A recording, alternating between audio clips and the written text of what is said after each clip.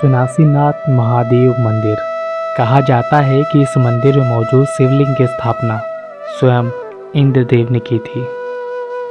औरंगज़ेब की बर्बरता और महादेव के चमत्कारों के निशान यहाँ आज भी हैं, जिस कारण ये मंदिर आज भी लोगों की आस्था का केंद्र है।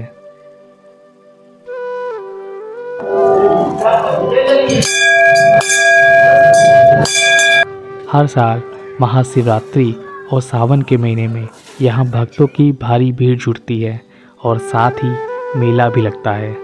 मल्लाओं में स्थित इस मंदिर को भोले के भक्त छोटा काशी भी कहते हैं।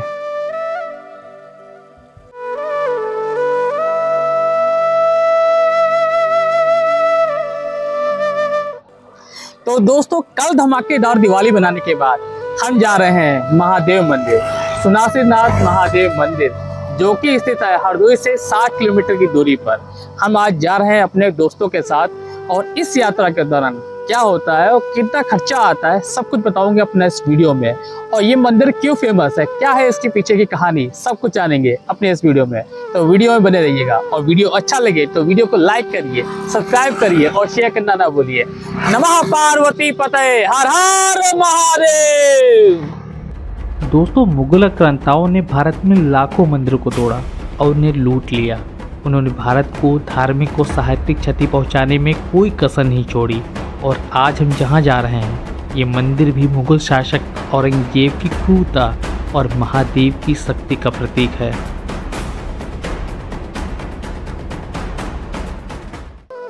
हम बात कर रहे हैं सुनासीनाथ महादेव मंदिर की, जो कि स्थित है मल्लावा नामक कस्बे में। जो कि हरदोई डिस्ट्रिक्ट से 60 किलोमीटर की दूरी पर स्थित है और कानपुर से 100 किलोमीटर की दूरी पर स्थित है।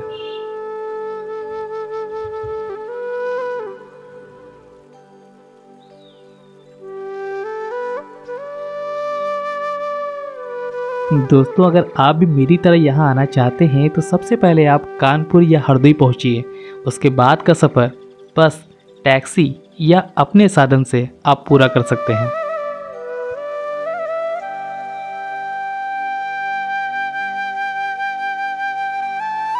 हम भी अपने तीन दोस्तों के साथ चल पड़े महादेव का आशीर्वाद लेने के लिए मन में ढेर सारे प्रश्न थे कि क्या कहानी होगी इस मंदिर के पीछे? क्या सच में महादेव ने कोई चमत्कार दिखाया होगा? क्या सच में औरंगज़ेब इस मंदिर को लूट पाने में सफल हुआ होगा? ऐसे ही ढेर सारे प्रश्नों के साथ इन सुंदर रास्तों पर हमारी कार आगे बढ़ती जा रही थी।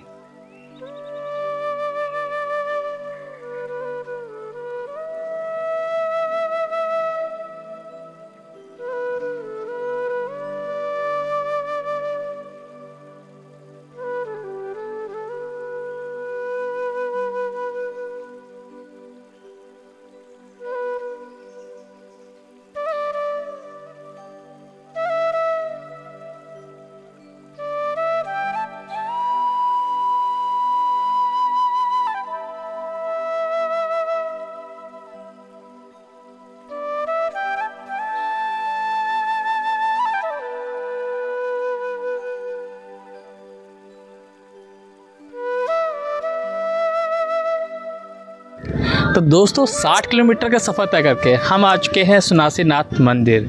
और हम खड़े हैं मंदिर के परिसर में और ये पूरा जो एरिया देख रहे हैं, यहाँ पर मेला लगता है और काफ़ी बड़े स्तर पर लगता है। और ये पूरा रास्ता गया हुआ है मंदिर की ओर। तो चलते हैं, आपको ले चलते हैं मंदिर और जानते हैं यहाँ की कहानी और कथा।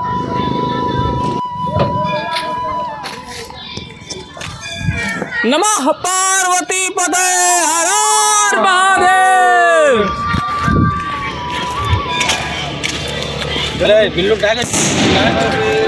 देखो स्वागत हुआ है।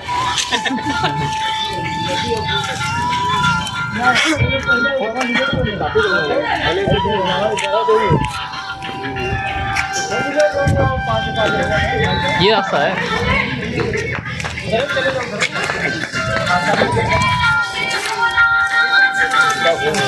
इधर चलो यार रास्ते मेन रास्ते पे। अच्छा मेला वाला। मेला लगता है बाद आदमी आदमी कवर नहीं होते तो नहीं लगा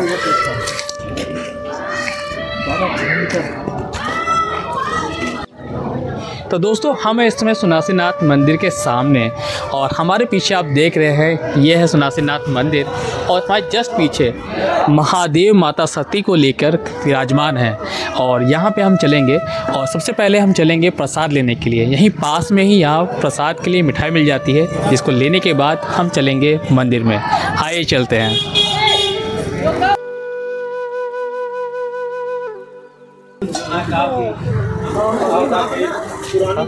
दोस्तों, प्रसाद लेने के बाद हम चल दिए हैं मंदिर के अंदर।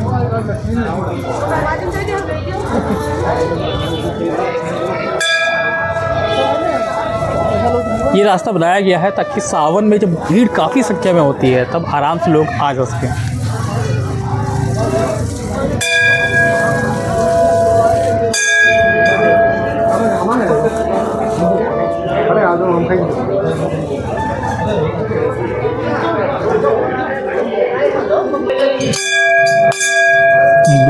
बात करते हैं इस मंदिर के बारे में।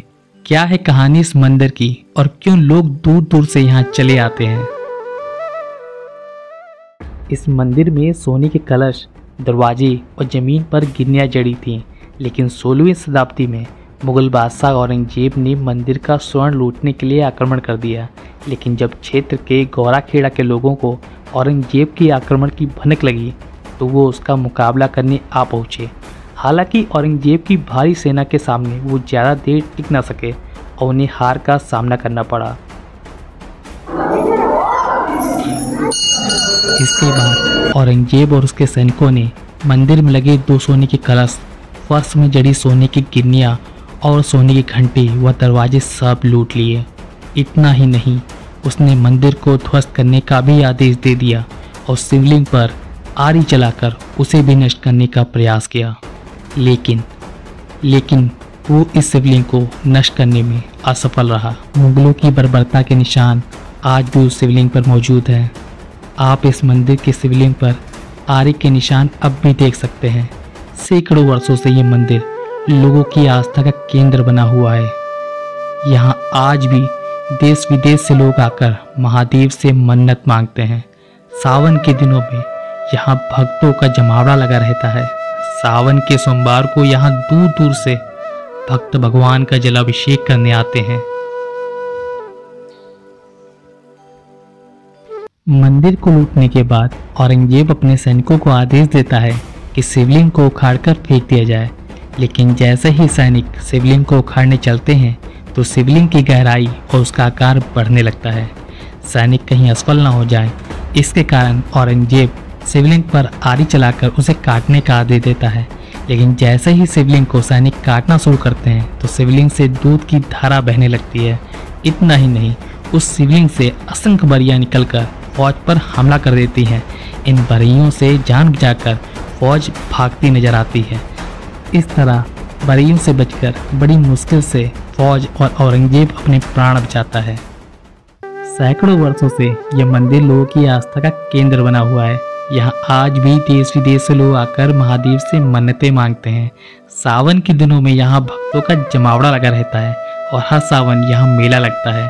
सावन के सोमवारों को यहाँ दूर दूर से भक्त भगवान का जलाभिषेक करने आते हैं।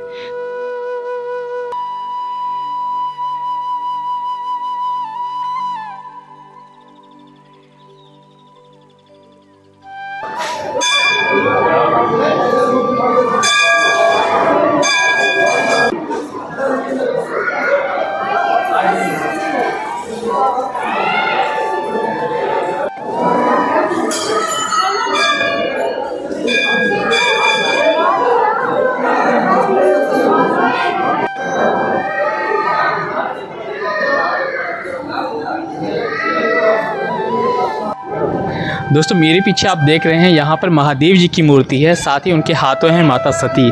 और ये एक आर्टिफिशियल गुफा भी है। आइए देखते हैं इस गुफा के अंदर कैसा है और ये कैसे गुफा कहाँ जाती है। आइए मेरे साथ। आज इन लोग को भी पता चल गया।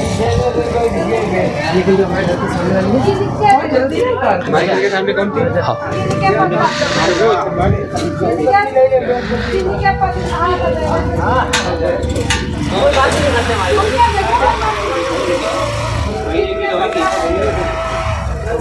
आइए चलते हैं इस गुफा में। हर हर महादेव। ये आर्टिफिशियल गुफा है और बिल्कुल वास्तविक लग रही है। यहाँ पे लाइट भी है ताकि आप यहाँ आराम से निकल सकें।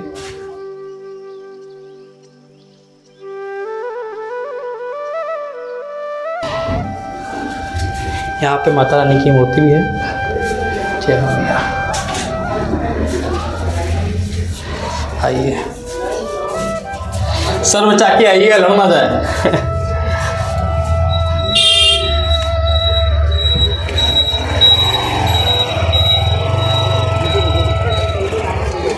तो ये थी छोटी सी आर्टिफिशियल गुफा। यहाँ पे आप गुफा का एंजॉय कर सकते हैं। आर्टिफिशियल सही, गुफा तो है। आइए।